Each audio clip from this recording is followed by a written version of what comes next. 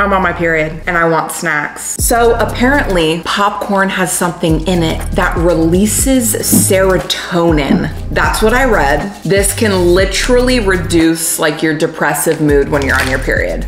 So if you're a girl on your period and you're feeling a little sad, serotonin is in popcorn. So what's specifically in popcorn, it's called tryptophan and tryptophan turns into serotonin. So it's it's science. That's insane. So definitely try to eat popcorn on your period. It's a mood booster.